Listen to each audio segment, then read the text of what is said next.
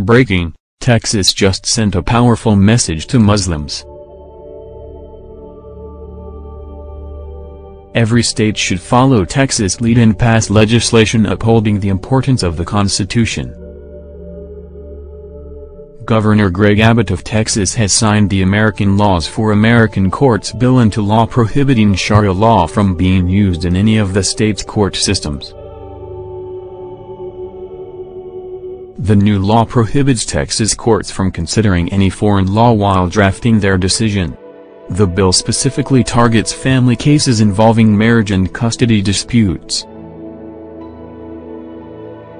Representative Joe Leech, who co-sponsored the bill, thanked Governor Abbott for signing the bill into law which he describes as a vitally important bill to further safeguard and protect our constitutional rights. Representative Dan Flynn, the lead author of the bill, explains that foreign laws are often applied in Texas courts when settling family and property disputes. This is the second attempt from the Texas legislature to protect the Constitution by banning foreign laws. The previous attempts failed to pass through the legislature. Specifically, the bill forces judges to consider federal and state laws before any foreign laws when making a decision. If conflict arises, then judges must defer to American laws which supersede all others.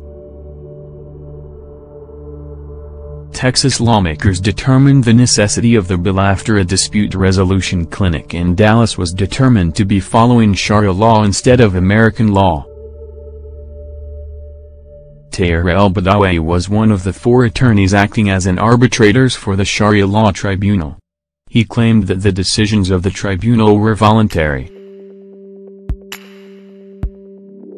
However, the four attorneys acting as arbitrators improperly referred to themselves as judges insinuating that their decisions were binding.